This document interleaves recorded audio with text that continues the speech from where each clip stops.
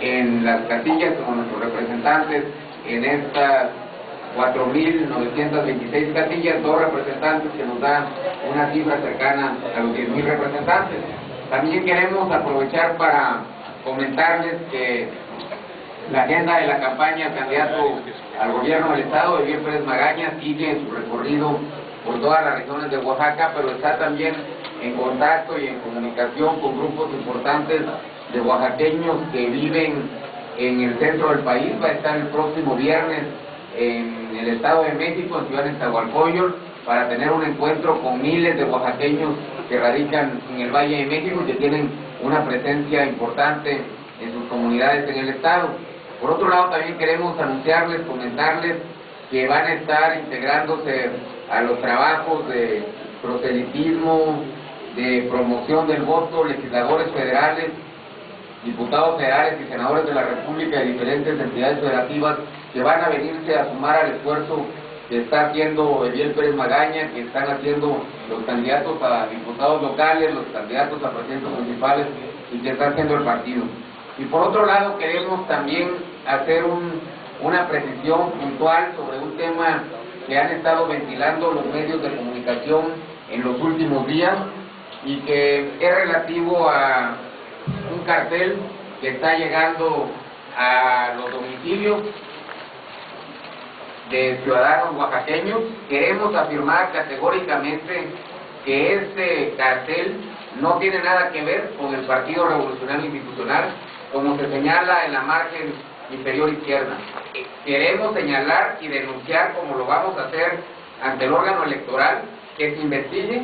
quién está promoviendo esta campaña negra, esta campaña negativa, para poner en entredicho la campaña de propuestas que Biel Pérez Magaña está haciendo. Rechazamos, pues, de manera contundente que la autoría y el origen de este panfleto sea del Partido Revolucionario Institucional y estamos pidiendo, y por eso está con nosotros el director jurídico del partido, Elías Cortés, que vamos a poner la denuncia ante el órgano electoral local para que se sancione, se busque, se investigue y se encuentren quiénes son los responsables de haber promovido este tipo de campañas con las cuales no estamos de acuerdo. También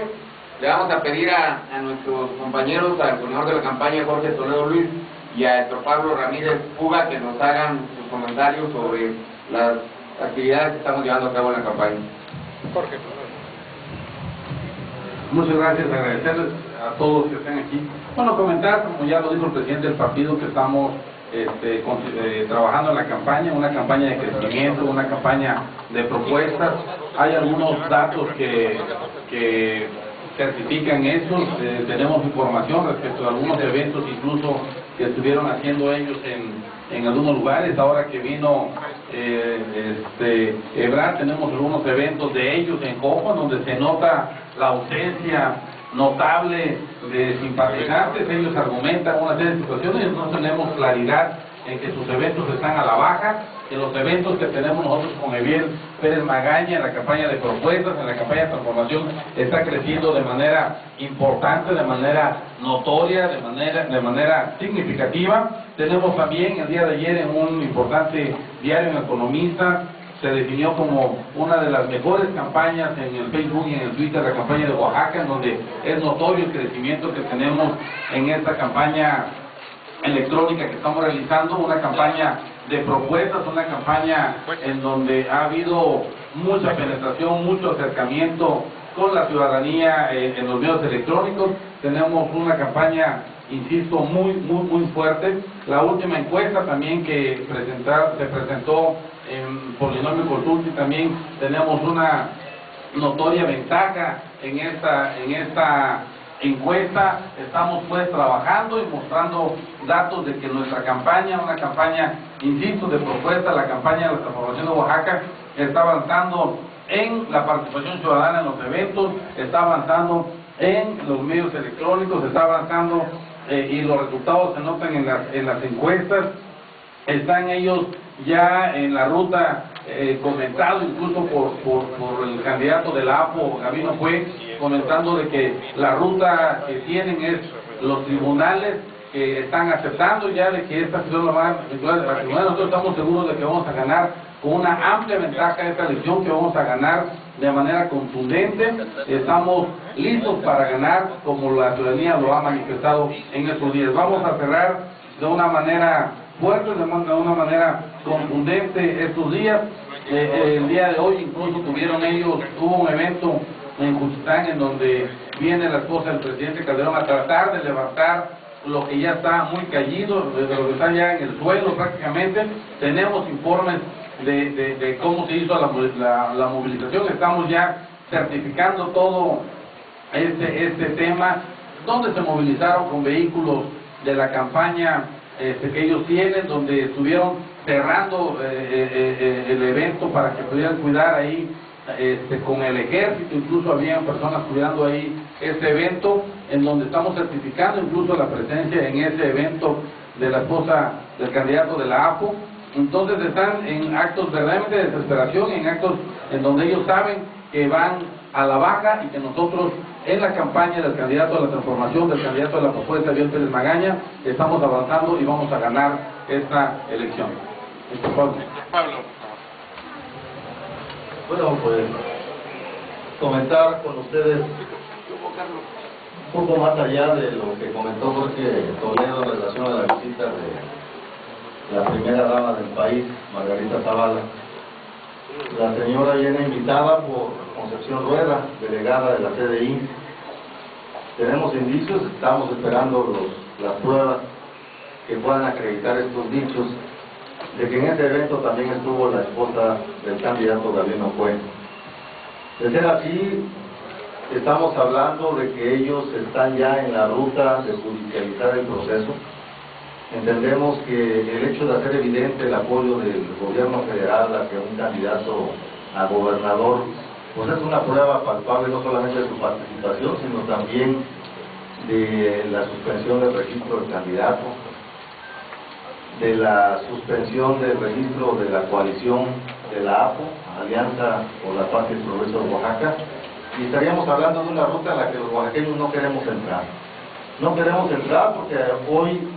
como lo dicen las encuestas, las tendencias, Eviel Pérez Magaña es el candidato que va a ganar la elección. E ir en la ruta contraria, e ir en la ruta de la judicialización del proceso, nos habla de que ellos están buscando, como ya lo dijeron en la conferencia de prensa que dieron hace algunos días, de que se va a ir a los tribunales de elección, lo dijo Gabino Fue. Nos preocupa como oaxaqueños porque están pensando ya no ir a las urnas, están pensando ir a los juzgados. Eso es realmente grave. Tan grave es eso,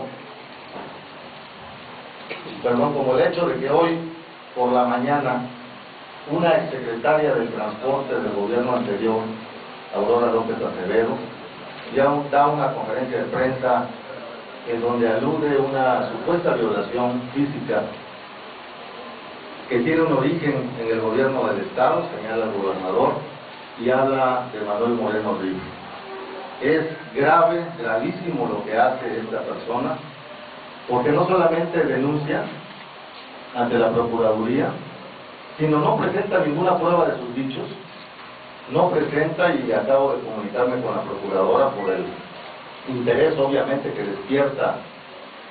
que una funcionaria pública haya acusado a un gobernador y según lo que tenemos eh, hasta el día de hoy no ha presentado una sola prueba médica de esa supuesta violación. Lo que nos hace recordar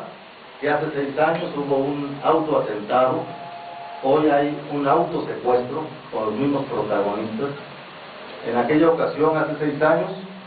quien estaba denunciando el autoatentado era el procurador de justicia Sergio Santibáñez, prácticamente hecho un mar de lágrimas. Y seis años después vuelven a hacer lo mismo con el mismo Sergio Santibáñez al pie de la cama de Aurora López Acevedo, pretendiendo engañar a la opinión pública. Yo creo firmemente que quien está detrás de todo esto es el exgobernador José Murat. Yo creo que tenemos que solicitarle al licenciado Murat que dé una explicación a los turistas de si todo su equipo de campaña de hace seis años, Juan Díaz Pimentel, Aurora López Acevedo, Sergio Santibáñez, Germán Espinosa, están hoy apoyando a David Nocue, eso representa también sus intereses, que nos los haga saber.